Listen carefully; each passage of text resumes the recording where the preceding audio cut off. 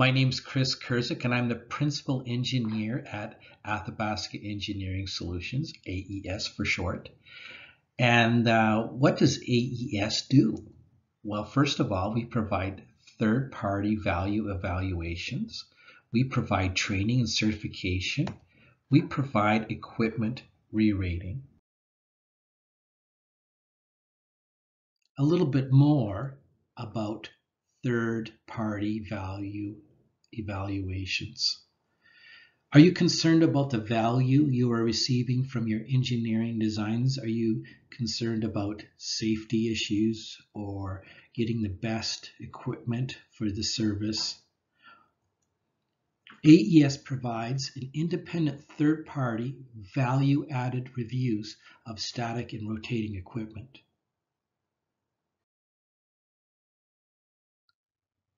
A bit more detail about training and certification. AES provides training and certificate, certification for workers. Did you know that 60% of workers claim that training and development is the most important policy for a company so the, uh, for their careers a training program with certification is available online and instruction is provided by highly skilled, experienced engineers. If there's any specific topic you wish to be reviewed, please contact us at AES.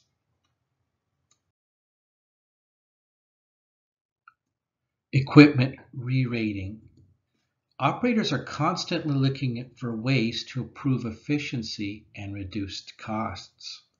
This may require changes in flow rates, for example, or, or, or changes in pressure. Equipment upgrades may be required for more efficient modern technology. AES provides management of change methodology in conformance to API and CSA. We work closely with industry standards and equipment manufacturers to get great results. In this presentation, we're going to talk about API 650 tanks. It's an overview. First of all, we're going to start with the design summary, the, the, the constraints within the design, the applications, a bit about the annex of 650 and the interesting parts, materials, design procedures. Let's review where we are in the tank API tank standards. We first started talking about the 12 series of tanks, which included bolted tanks all the way to FRP tanks. Last presentation, we talked about 620, and the last piece is 650 tanks. Now here's a summary about the API 650 tank standard. Unlike uh, at least the 12 series of tanks. There's no specific capacity. Um, this is by design. There's a lot more engineering in API 650 and 620. The configuration is always vertical, cylindrical above ground, and it can be closed or open topped construction. Even though we see a lot less open top construction than before but we still see it uh, with if there's a, internal floating roof. Internal pressure, two and a half uh, PSIG or 17.2 kPa max with an Annex F. External pressure uh, shown there, and but if you invoke H uh, annexes H and V, you can um, extend that. And the temperature is low temp, but it's not um, extremely, except if you use annexes A, L, and M. About API 650 storage tanks. They're designed for large storage tanks. So you these are, are some of the largest storage tanks that you will you will find. Oil and gas, chemical, water surface, everything that applies to uh, within the API scope non-refrigerated service. If you require refrigerated service, then consider the API 620. Field and shop fabrication procedures are included in API 650. Inspection and testing examination procedures are included in it.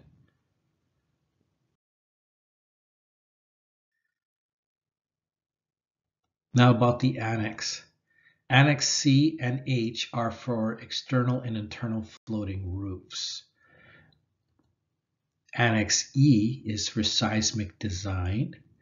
Last presentation we talked about how that's pretty much the American system. And so there's different systems around the world. So there would be some interpretation and decisions involved with that. Another th interesting thing is uh, Annex G, which is for domed roofs, which are primarily the aluminum ones. Annex I, that's the under tank leak detection and subgrade protection systems. Also very important to meet the, the local jurisdiction environmental guidelines. Now materials plays a big part of the API 650 spec. To begin with, we'll talk about plate.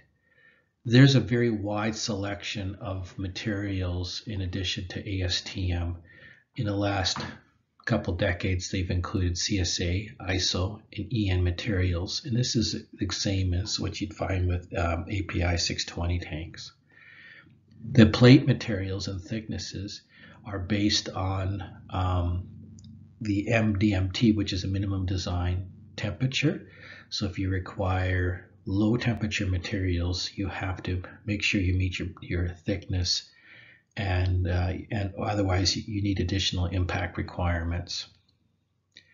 Now the, the API 650 has a number of material classes in a material chart and they're broken out by Roman numerals and there's several several groups. There are alloy restrictions just like uh, API 620 and there are also manufacturing restrictions, which are similar to API 620. More about the materials of, of construction. Pipe flanges, forgings, and, and castings follow the, ASTM specifications. ASTM specifications has standard temperature materials and low temperature materials. AS, and this is has to do with the, the minimum design metal temperature. Structural, they have specific specifications that are permitted, a short list basically, just like API 620. The annexes in API 650 have very specific material requirements for, for specific materials. I want to bring to highlight of some of these materials.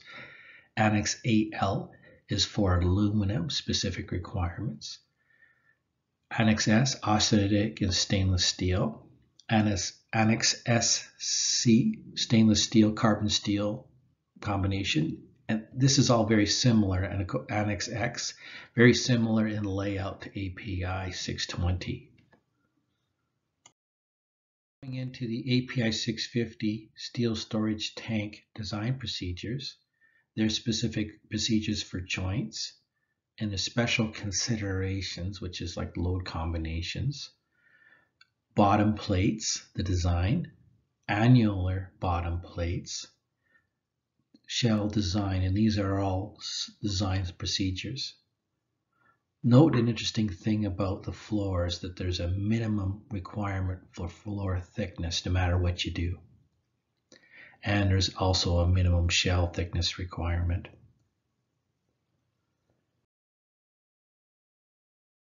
A little bit more.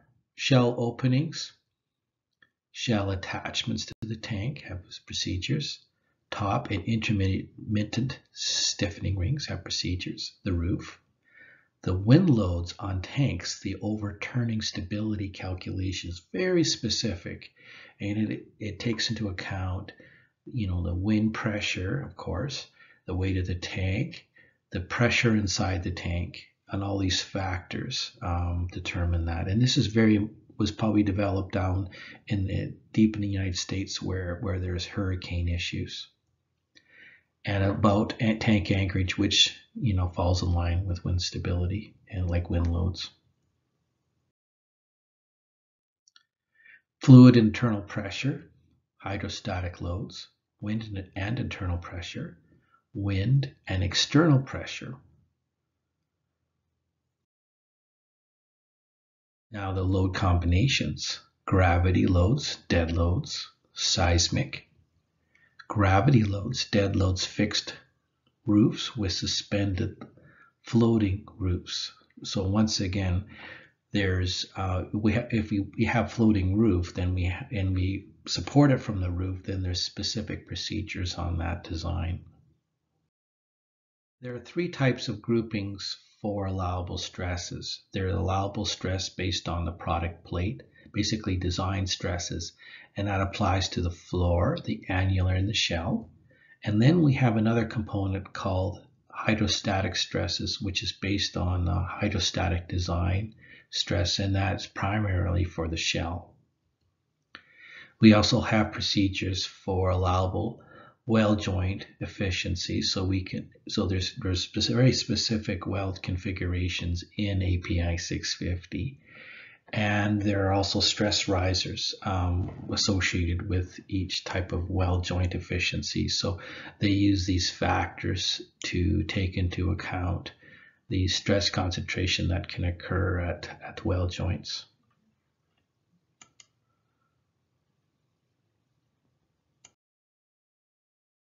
650 also takes into account traditional shell design methods that were originally done and added new techniques. So there's actually, when you read it, there's actually three types of uh, shell design methods. There's the one foot method, simplified for design, which is only for Annex A. So that only applies the one foot method. Not many people know that for uh, tanks less than 200 feet in diameter. And there's also the variable design point method, which takes into account larger tanks eh, or, or whatever you need for. And then there's the more com most complex, more one of the more newer methods called the elastic design method. I hope that you found this presentation useful and valuable to you. This was provided by Athabasca Engineering Solutions. We'd love to hear your feedback and, and your thoughts on further videos. And we'd love to hear from you. Maybe we can do some business. Please subscribe to our channel so you don't miss a thing. Take care for now.